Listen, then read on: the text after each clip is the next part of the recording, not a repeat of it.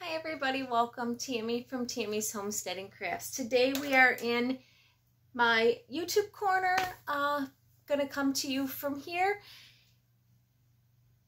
Yeah, I really wanted to do an outside video today. I just don't have enough time to do the video that I want to do. So maybe this weekend I'll be able to get that uh, videoed for you guys for next week, hopefully we are starting to get some nice weather and I'm really itching to get outside, but with everything going on, I'm not able to get out there to do what I want to do. And uh, actually videoing and doing what I want to do takes like three times longer than I than it should if I was to just get into the garden and start doing all the work that I need to do. It just takes so much longer when I video what I'm doing.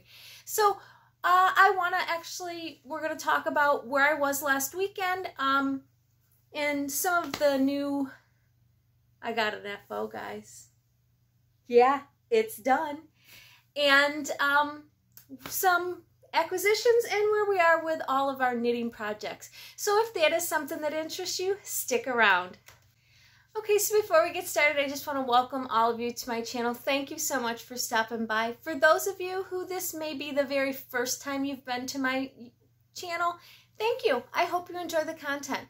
For those of you who have been here from the beginning supporting me uh, weekly, I appreciate it. Uh, thank you so, so much. And also, as a quick reminder, I still have the giveaway open for you guys to uh, register for my two-year um, two-year anniversary giveaway that I'm doing. My cutoff date is April 27th.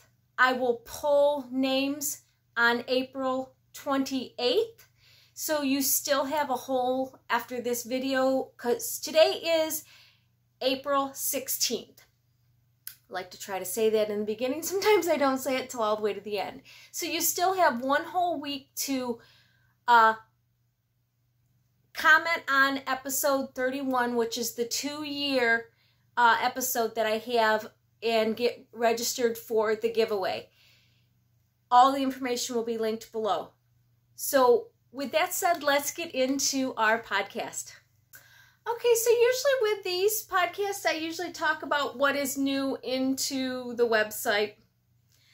I don't have anything, guys. I have been really uh, not sewing much. I've had some custom orders here and there, sewing this, sewing that, but I haven't really been doing a whole lot of sewing, sewing.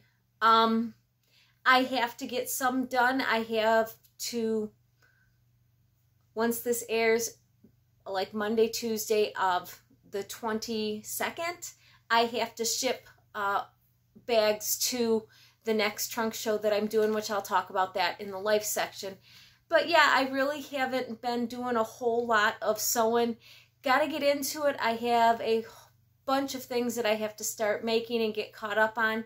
Um, but yeah, other than that, we've just been busy doing trunk shows and they've been fun. Uh, we'll, like I said, we'll talk about the trunk shows and everything that's going on with them in the where to find me section of the podcast.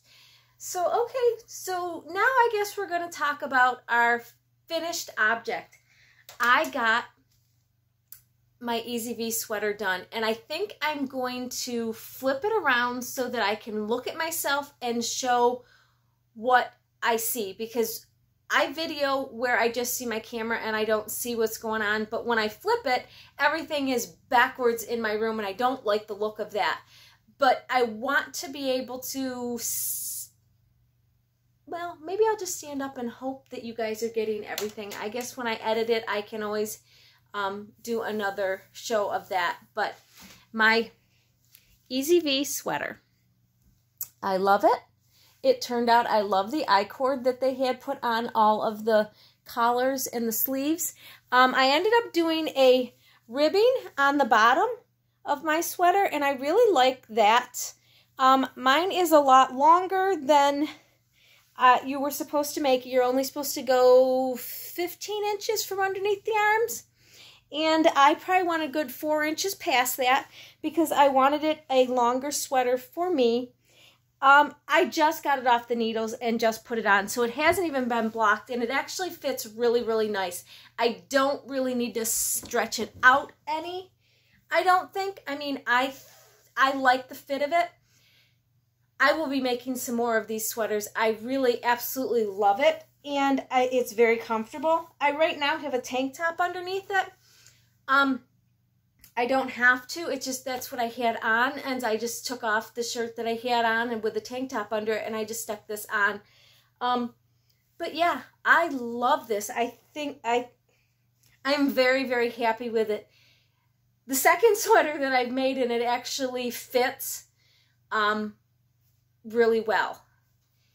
With making the changes that I've made on it, I'm really happy that it fits really well. But I have, I did try it on a lot while I was making it so that it, you know, to measure it and everything like that.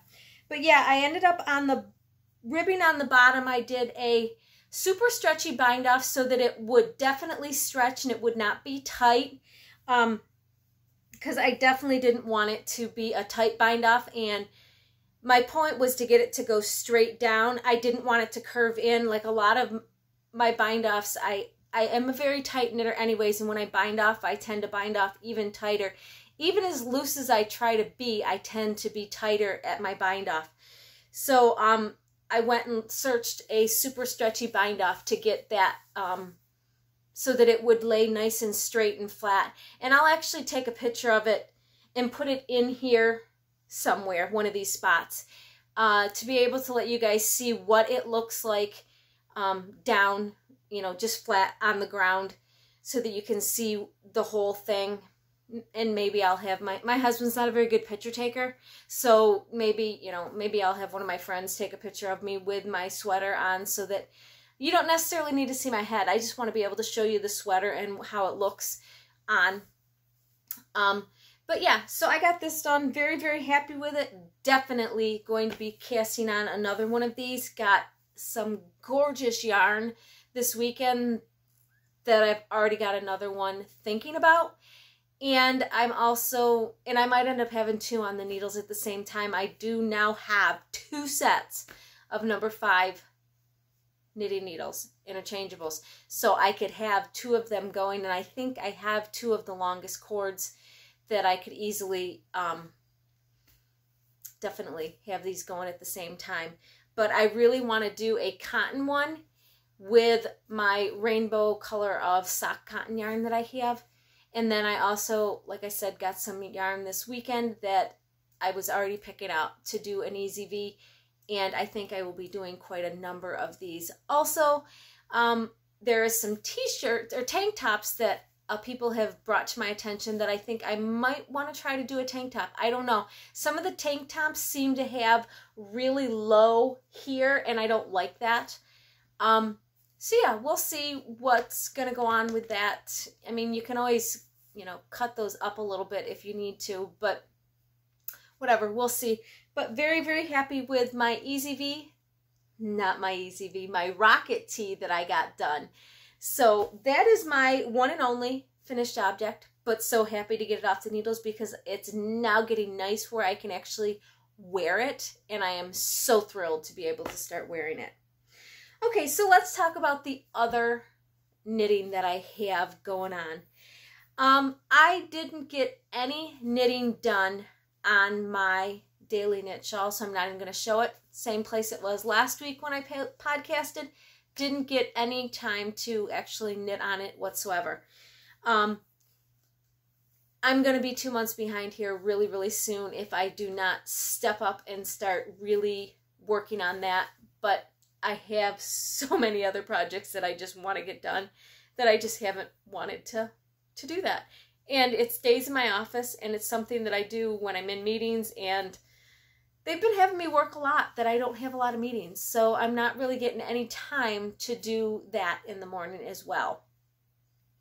Okay, so let's go to my Easy V sweater. Um, didn't get, I don't think I got a whole lot done on this since the podcast. Now, just a couple of rounds. I really wanted to get this off the needle, so I really worked on this.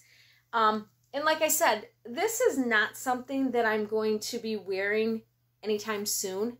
So it's okay that it sits and I only get a couple of rounds done on it here and there. This is definitely a very easy knit that if I go to to somewhere or just go out in the backyard to sit, maybe to have a fire or do anything like that, I can just sit and it's just knitting in the round. It's nothing fancy. And even when I cast on for my sleeves, it's just knitting in the round for quite a while with the sleeves.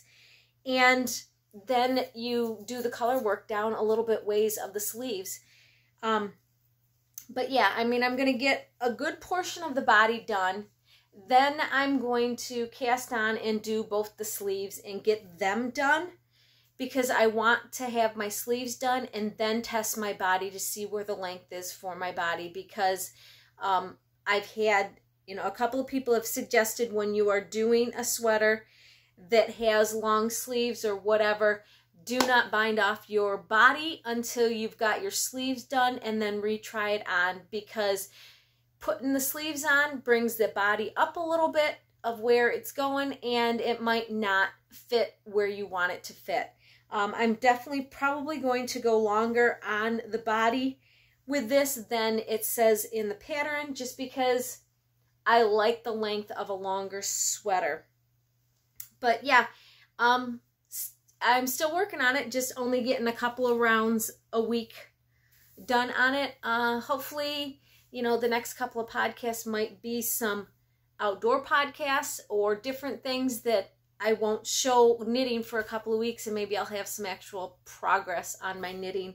Um, I mean, I am getting stuff done. It's just this was a big, sorry, this was a big thing to get done and I really wanted to get it done. So that was where I'm at with that.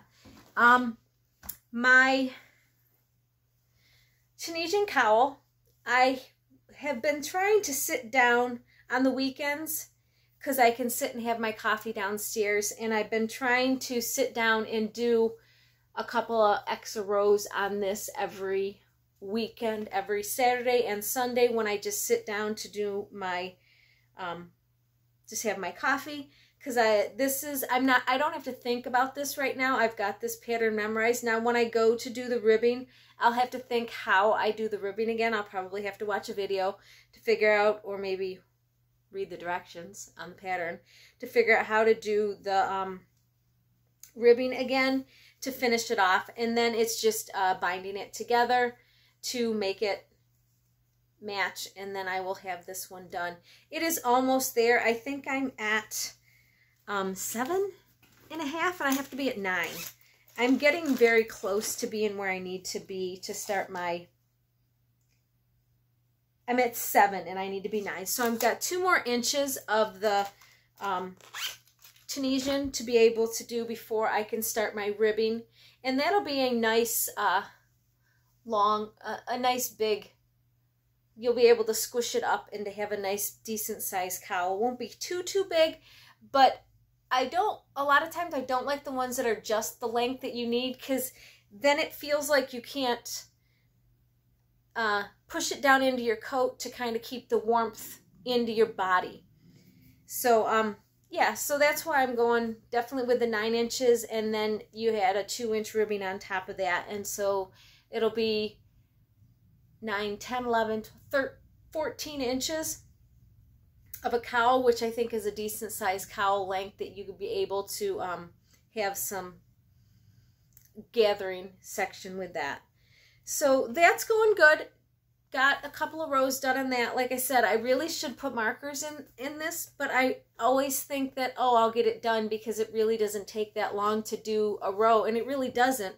Um, it's just, I don't know, I'm just not getting there. Okay, so my third project is my Stormy Sky shawl. Um, I got bit of this done this weekend on here. I'm getting quite a ways on that. Um, it's going to be, I think, quite a big airy shawl. Um, although it is taking eh, it's really not taking the yarn faster than I thought it was going to. So I think this is going to end up being quite a big shawl. I'm not big on big shawls, but I'm going to probably use most of this skein of yarn. If I don't, and there's enough left over, I'll have, I'll put it aside to put it into my um, daily shawl. But yeah, I want to be able to get, I know the size shawls that I really like, and it's the my friendship shawl that I made was the one that I really liked the length of that.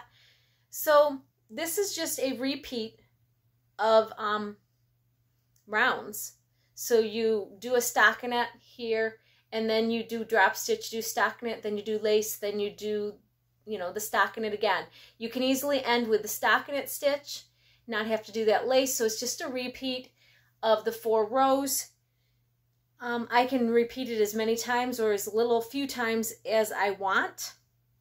So but yeah, I mean, this is definitely going to be a nice airy shawl. Maybe the bigger.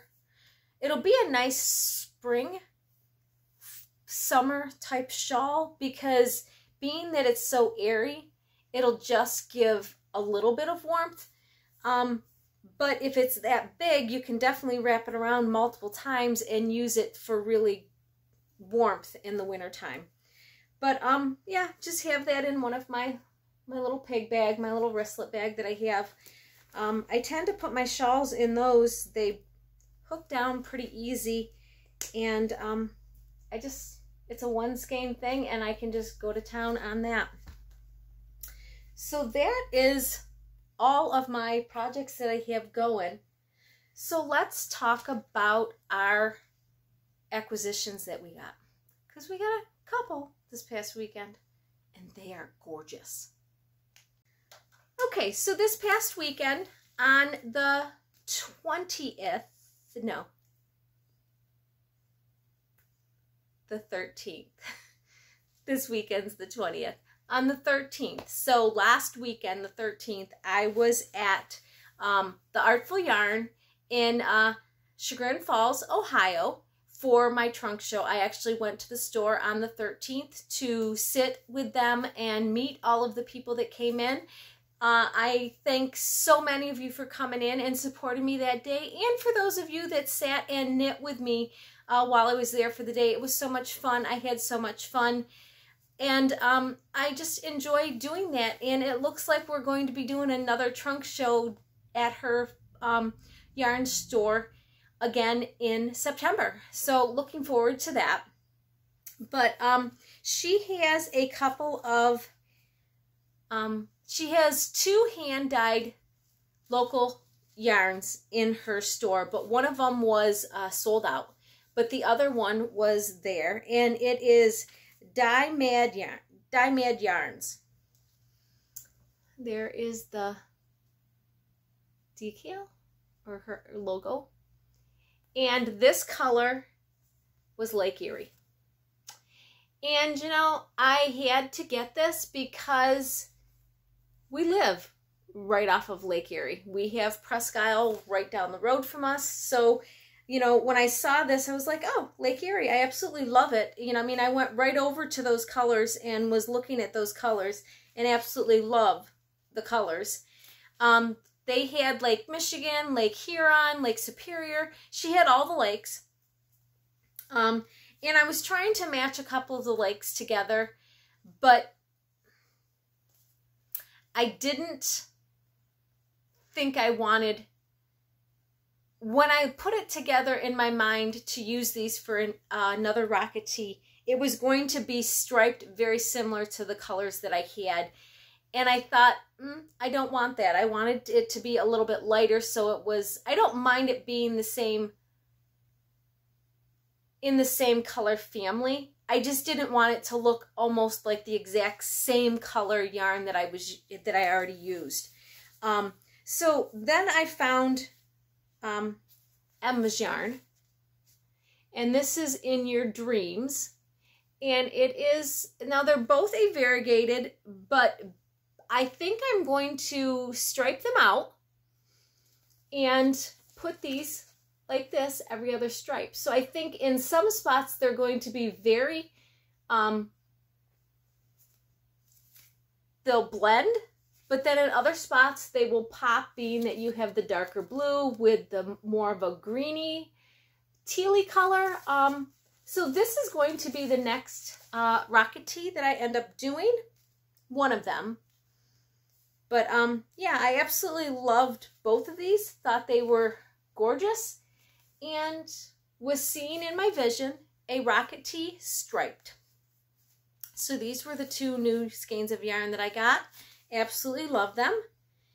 Um, but that was all I got. I didn't get, I didn't go to crazy. There was a couple other ones I could have gotten, but I didn't. I kept it to two. I try to keep it to about two to three skeins of yarn when I go places just because I'm going to a bunch of different stores and I want to always make sure that I can support them as best I can while I'm there. Um, so yeah, I try to at least get a couple of skeins of yarn when I'm at each of my stores that I go to. But that was all I bought. So those are all of the acquisitions. I have nothing else. Um, none of my monthly colorways are here yet for April. They should be coming, getting notifications that they're being shipped. So those should be coming. And um, yeah, when they come, I'll just let you know. So, okay, let's talk about where we were and where we're going to be for the next couple of weeks. Okay, so last week, as I said, we were at uh, the Artful Yarn doing a trunk show there. Um, it, it finished up on April 13th. Thank you for welcoming into your store and agreeing to do the trunk show for me. I absolutely am so thankful that uh, you were willing to do that for me and being able to meet all of your well i don't know if i met all of your employees. Maybe i did maybe i didn't. I can't remember. Um i don't know how many employees you had. I met four of the people that work in your uh, in your store and it was so lovely to meet all of you. So lovely to sit and knit and get to know each and every one of you thank you so much for the opportunity to allow me to sell my bags in your store. I really, really appreciate it. So now for the upcoming week. So we are going into, today is March 20, or March. When this airs, it'll be April 21st. This next coming Saturday is April 27th, and that is local yarn store day. Okay, so April 27th, we are going to be at Maggie Valley Yarn Company in Ma Maggie Valley, North Carolina. She is going to have a trunk show for me starting April 27th and going through May 12th. May 7th through, I think it's May 7th through the 12th. I will definitely put the dates of the uh, yarn crawl on there. It is the Western North Carolina yarn crawl that they have going on um, in uh, North Carolina during that time. It's the week before Mother's Day that they have it going. Um, so that is uh, where my bags will be for the month of, well, the end of April and the first of May. May 11th here in Pennsylvania, for me locally, I will be personally at um, the Moms Market in um, Edinboro, PA, at Goodell's Garden. I will be at their facility for the day. I will put, um, I believe it runs from 11 to 5.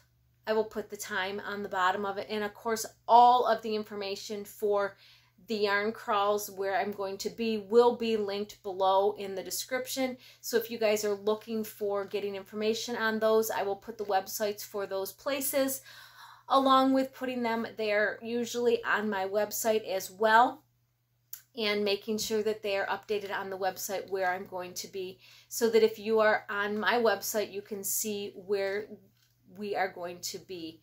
Um, but those are the next coming up places for the end of April and the 1st of May. Then I don't start any other shows until the second week of June, and those are a local uh, show here for me as well in um, at the Bayfront 8th and Bayfront. It's a local leaf market. It's just a, um, they put it in the park and you can just set your tent up and be in the park for all of these uh, local businesses that they get to go in the park there.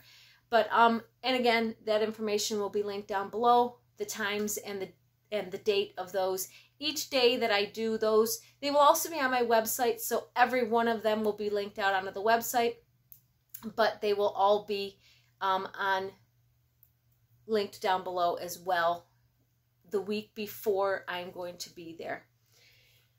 But guys, I don't really have much more to talk about.